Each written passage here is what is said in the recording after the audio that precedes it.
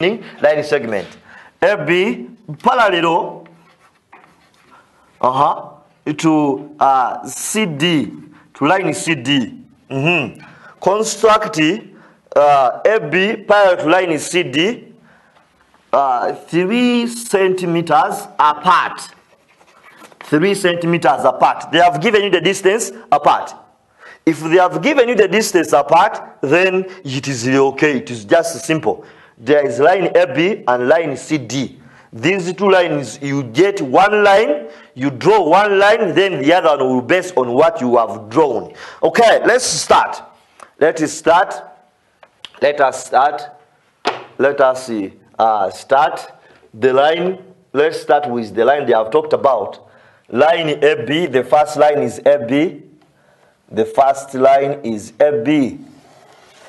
Mm-hmm. The first line they have said is A, B, without any dimension.